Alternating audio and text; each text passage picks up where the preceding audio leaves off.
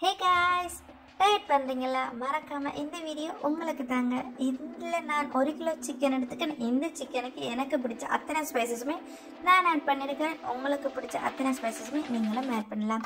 இதில் நான் போட்டிருக்கிறது தனி மிளகாத்தூள் மல்லித்தூள் மஞ்சள் தூள் கரம் மசாலா உப்பு பெப்பர் யோகூட் கொஞ்சோண்டு மைதா கொஞ்சோண்டு கார்ன்ஃப்ளவர் இவ்வளோத்தையுமே ஆட் பண்ணி அரை மணத்தியாலத்திலிருந்து ஒரு மணத்தியாலம் நல்லாவே ஊற வச்சிருங்க. அவ்வளோதான் விஷயம். அதுக்கப்புறம் டயட் பண்ணிங்களா மறக்காமல் நீங்கள் வேண்ட வேண்டியது ஏர் ஃப்ரையர் தாங்க.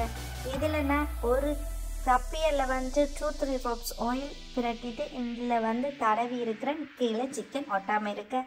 அவ்வளோந்தாங்க அதுக்கப்புறம் என்னங்க? சிக்கனை வடிவாக ஏர் ஃப்ரையரில் வச்சுட்டு எடுக்க வேண்டியதான். அதுக்கப்புறம் டைம் செட் பண்ணுங்கள் இதில் நான் வந்து பத்தொம்பது நிமிஷமும் நூற்றி தொண்ணூத்தஞ்சு டிகிரி செல்சியஸில் ஒரு கவும் மறுபடியும் வந்து திருப்பி போட்டதுக்கப்புறம் பத்தொம்பது நிமிஷம் நூற்றி தொண்ணூற்றி அஞ்சு டிகிரி செல்சியஸில் வைத்து எடுத்தேன். சூப்பரான நோ சிக்கன் ரெடி ஸோ டயட்டில் இருக்கிறீங்கன்னா மறக்காமல் ட்ரை பண்ணி பாருங்கள் சாப்பிடுங்க.